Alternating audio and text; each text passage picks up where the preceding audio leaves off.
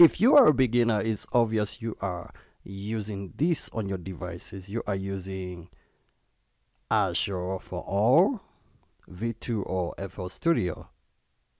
That is if you are not using any sound device or any sound card.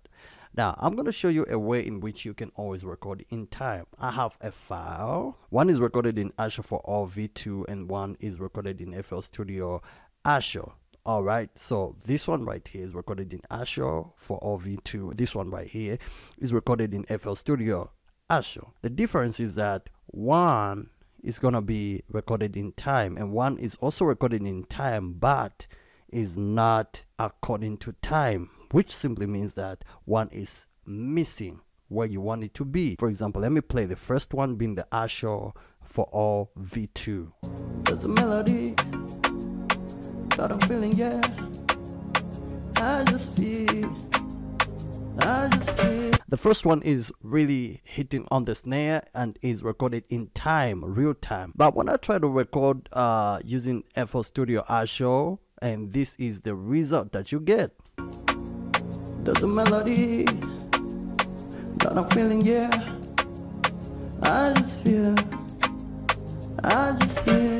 It's missing, it's not in time. What most of you guys do is start to move it around so you can like put it in the right time. There's a melody. But that's really time wasting. Your customers are waiting for you. You want you just want to get the job done. So what you do is this. Go to your devices. Device setup. Take out ASIO. Do not record in ASIO.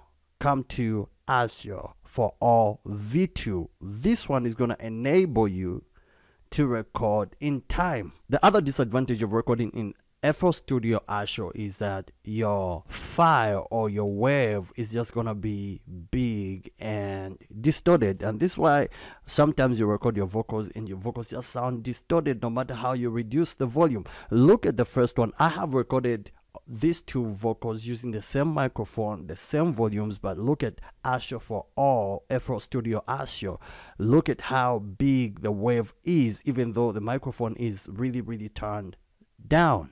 Now look at how healthy ASIO4ALL V2 Wave looks like. The vocal is really really according to the microphone setup. So if you want to achieve better better sound make sure that you record using Azure for all v2 i hope this video has helped you and uh, don't forget to subscribe. See you in the next one